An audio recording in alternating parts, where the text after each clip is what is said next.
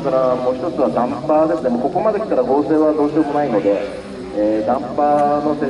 あの選び方、それからダンパーセッティングっていうのが、えー、この辺りでいうと、ドライバーの運転する車をどう仕上げてあげるかというところの鍵になっていきます。えー、そういう意味でいうと、車がパカッとそしてブレーキが、あちょっと必要になる、その辺りが、無理やりなってくがなく、そういうようなこういうサイクルになっていってしまうので、えー、そういう意味でいうと、もう少しチームとしては、えー、コンポーネントの選び方、セッティングっていうのは考えていけば、この車まだまだきっと速くなるだろうと思いますね。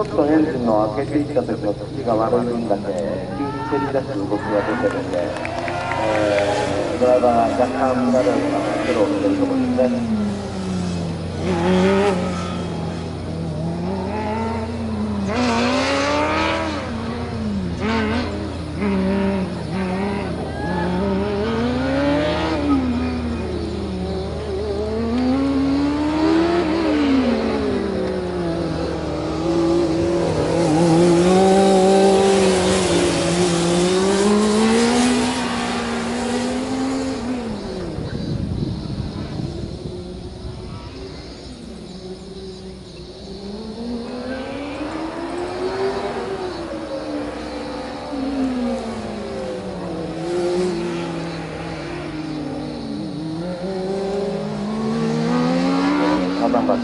戸大学学山中駅の上りですが本体の方ですからドライバー、え、金沢工業大学のドライバーェスーが出てきますこれで宮城君のパートは終了ということですね。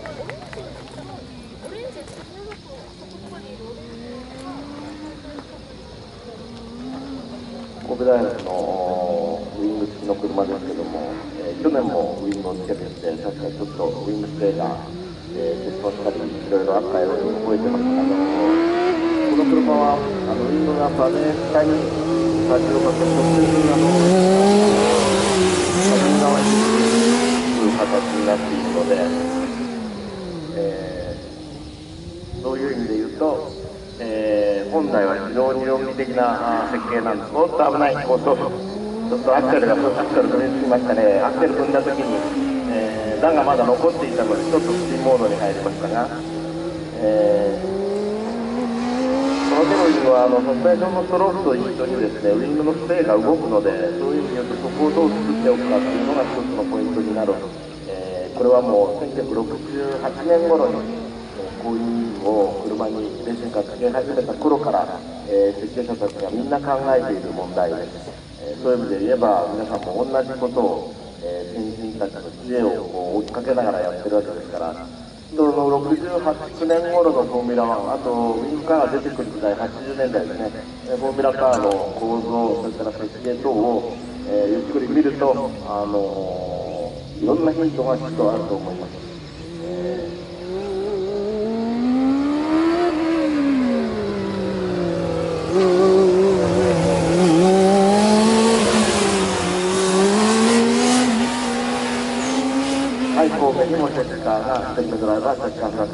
ちょっと今、スラロー見てても分かると思いますけど、かなりハンドルと格闘してと格闘しているので、あんなに苦労しなくても実は車って曲がるんですけどね、えー、ドライビントレーニング、これもとっても大事なポイントになります。えー、ただこの車に乗って繰り返しタイムを出せば、えー、運転がよくいい運転ができる車をちゃんと動かせるわけじゃないのでその辺が、えー、自動車の運転の難しいところであり面白いところであり、えー、僕もまだまだまだやることがいっぱいあるので実は昨日運転の仲間とご飯食べながらそんな話をずっとしてました。えー、僕の知り合いでいうと75歳の僕の車選びのお師匠さんがえー、今まだ車の運転多分うまくなってます、えー、もうもうどうすればいいとかっていう質問が、えー、車と一緒に車に乗った時によく来てます、えー、そんな風に皆さんもこれから何十年もかけて車の運転っていうのはもっともっと上手くなっていけるもんだと、えー、思ってください。はい、えー、スターティングエリアには16番の角宮が入ってきてますが、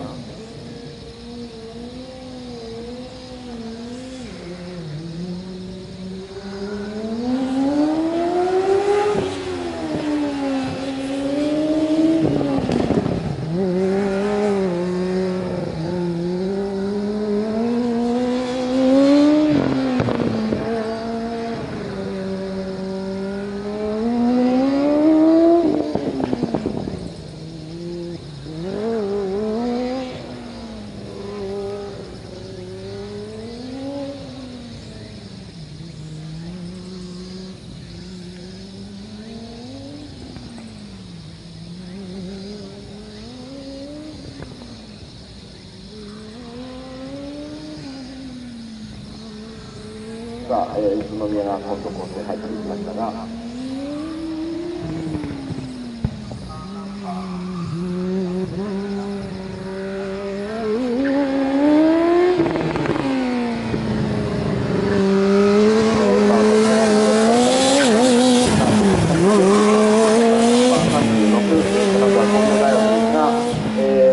リアブレーキの、えー、ブレークフルードが漏れてるということで、えー、このまま継続して走らせるわけにはいかないということで強制的に、まあ、あのオフィシャルの判断でリタイアとなりました、えー、36強制的に、まあ、オフィシャル判断によるリタイアなぜですねせっかく元気よく走ってたのにさあ宇都宮大学は今高校生で13秒台で、えー、のラップが始まっています。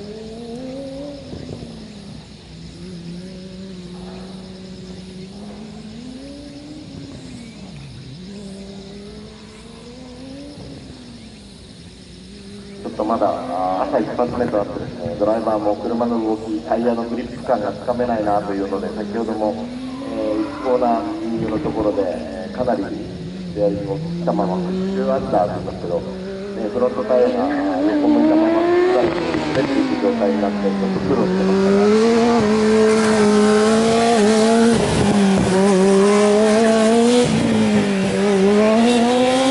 サスペンションが柔らかいで車のロールピッチの姿勢が分かりやすいですけど逆に言うと、えー、自分たちが狙った通りタイヤが地面にくりついて動いてるとか車体のロール姿勢はどどうかっていうのをこれチームメンバーとしては十分に、えー、確認していくと、え、こういう時によく見ておくというのが非常に重要だと思います昨日も、え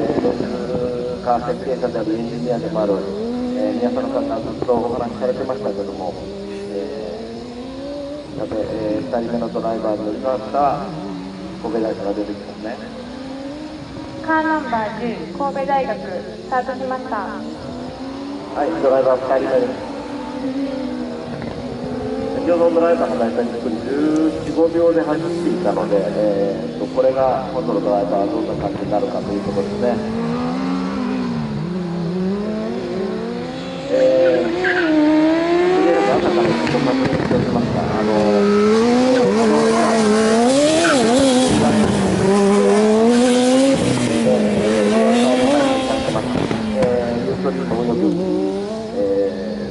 本学生フォーミュラ大会2013で検索すれば、えー、動画サイトが分かりますので、これピットの方、それから、えー、このサイトこれがしてもですね、この走っている動画は、特にエンジニアスから2台の3台ですので、えー、その状況についての動画は刻々と見ることができます、えーそれからタイムについてはです。ね、えーこれもまた、えー今回ダウンラップ今の中からちょっと遡るところまでは順次、えー掲載されていきますのでそちらでも確認できます、えーとりあえずその、えー計測タイムの随時アップされる URL を口頭で申し上げますと、えー、http コロンスラッシュスラッシュ3えー3えードット JP スラッシュ JP スラッシュドット JP とスラッシュ JSAE スラッシュ、えー、チームにはトランスポンダーの書き出しに、えー、QR コードを含めてお渡ししてるはずです。さあ、宇都宮大学は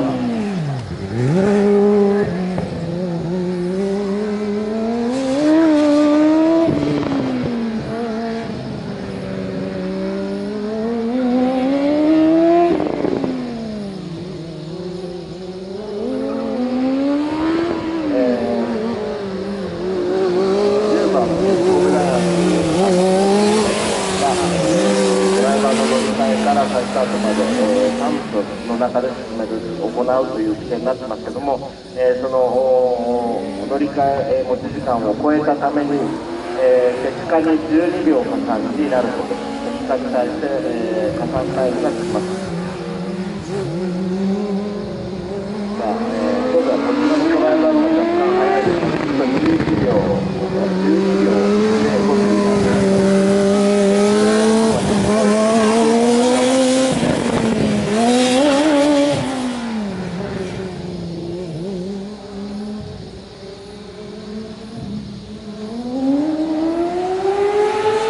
ドライバーもだいぶリズムが出てきて、えー、いい感じになってきたかなと思いますけども、えー、高速コーナー、特に我々の前からこう、直線から、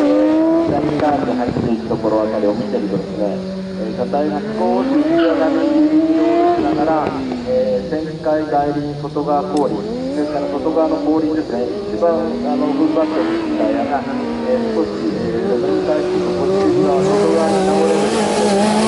そこからはもう少し氷が踏ん張れるよというところですが、えーそういうこともこう、えーえー自分の目で、えー車の挙動を見てもらうときっと適定者は一番よくわかると思います。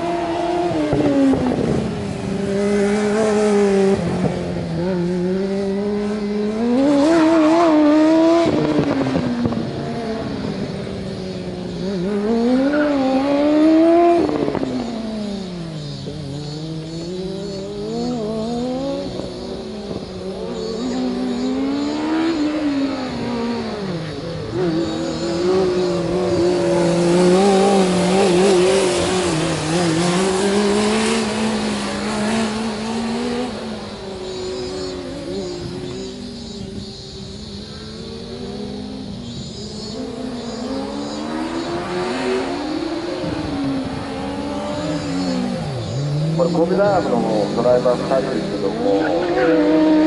構ドライビングのタイム、リーズのタイム、特にアクセルワーク、あとステアリングワークですね、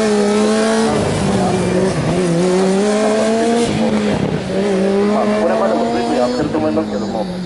えーデータローが比較するとそれぞれのドライバーが何をしてるかっていうのがもうちょっと見えてきてですね、それに応じてじゃあドライバーをどうすればいいのか車側は何が足りないのかどうすればもうちょっと良くなるのかあるいはどをどうどこをしてたらどんなドライバーのやり方が変わったかっていうようなことも、えきっと見られると思いますそれでより良いところドライバーも含めてより良いスイートスポットを見つけていくのも車の開発の中でこの車の開発の中ではきっと大事なことです、えー、ちょっとやってみる。といいかもしれちょっとやっぱり曲がり込むのにこのドライバーもやっぱり曲がり込んで車を前に進むようにどうしていくそれが何かというと僕らの会場からはまだちょっとわからないですね。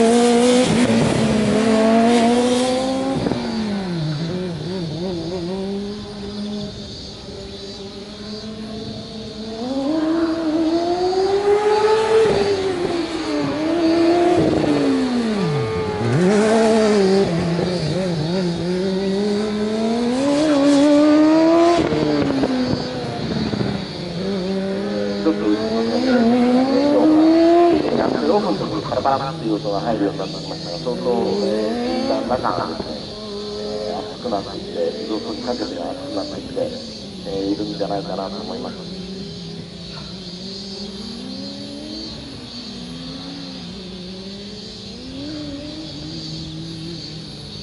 大丈夫そうですね、ラップタイムちょっと神戸の車がペースが落ちてきてるから、15秒台ぐらいまで。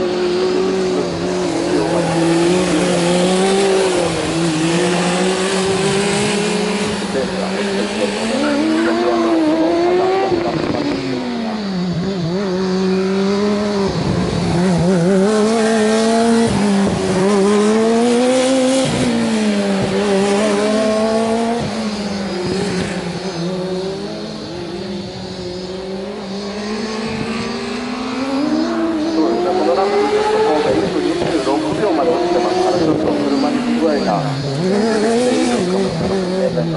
戸で26秒5す、ベストタイムから15秒ほど遅れ、14秒ですね、ほど遅れてます。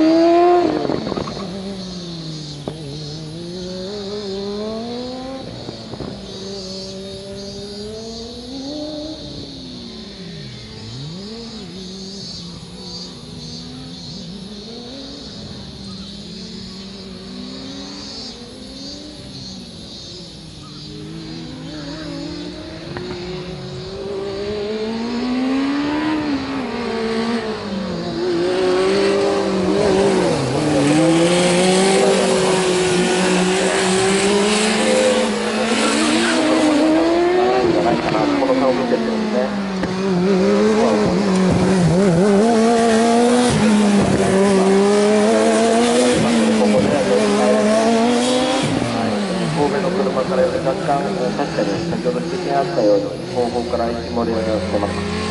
ー、なんかあの白いミスト状のものが出てますけども多分えー、っと走行 OK ということですからあ冷却水のエンジン冷却水の、えー、ブリザーの辺りから少し吹いてるんじゃないかなと。ということはこちらもかなりエンジンの、えー、おーっと危ない危ない危ないお尻が滑りましたね。あのー、エンジンの冷却水のところで水分あのまあ、冷却水が蒸気になって、ブリザー側に漏れてるということだと思いますので、え水温が相当上がってきているかなというふうに見受けられますね、え先ほど目に見えなかった薄い霧が見えるようになってきましたからあと何週かなとか、え持ってくてといいですね。ちょっと強くなってきま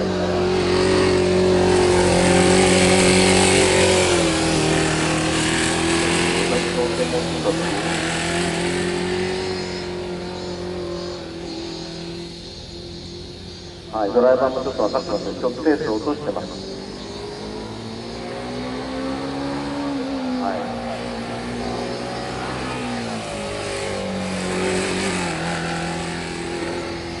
えーこちらの手元だとあと日中のはずなんで今このラップを入れて日中のはずでああちょっとやっぱり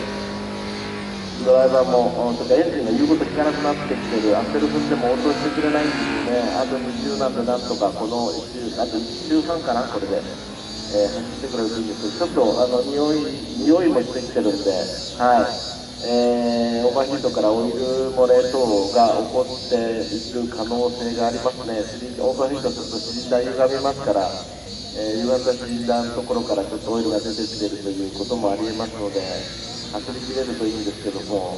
だいぶ煙が濃くなってきてしかもまあ排射水にするのも今分かったと思うんですけどちょっとオイル系の匂いがしてますので、えー、なんとか走りきってほしいのとこれ、ね、コースにオイルが出ちゃうような状態まで悪化するとそこで止められますからねあと1周なんとか持つかどうか。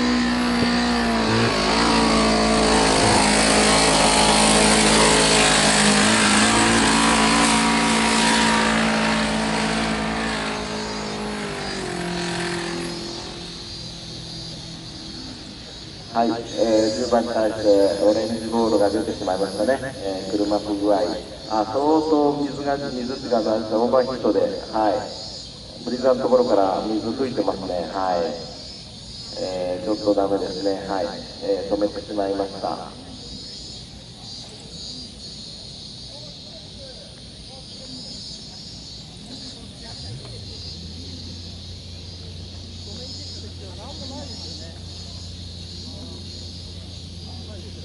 えー、サオフィシャルがあちょっとコースに出てですね、今、あ神戸の車がちょっとかなり大量にオイルスモークを吹いたので、オイルスモークを確認しているところです。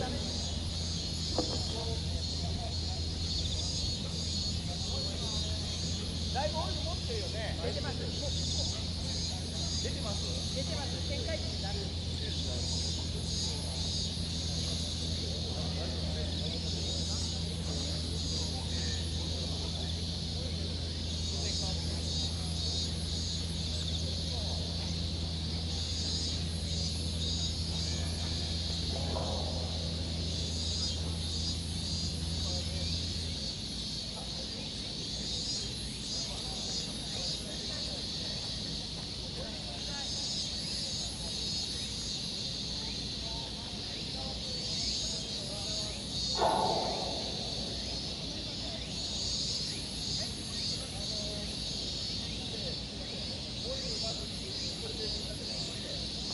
えー、今、コース上ではオイル処理が行われています、特にあのあれですね最後、もう相当メスを吹いてから走ってたところから、それから、えー、あの